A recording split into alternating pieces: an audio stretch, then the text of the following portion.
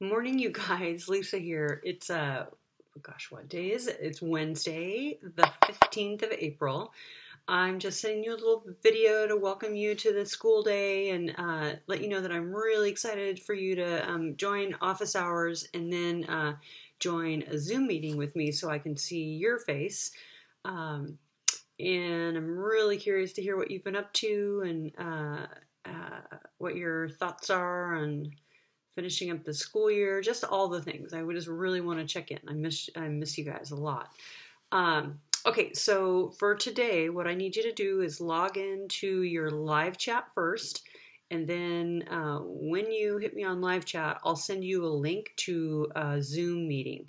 And I only have like 10 kids. You're one of the 10 kids I have left. So um, I only have 10 kids left. It's not likely that you'll be in a Zoom meeting with any other student but just um, just be aware of the fact that you might you might be.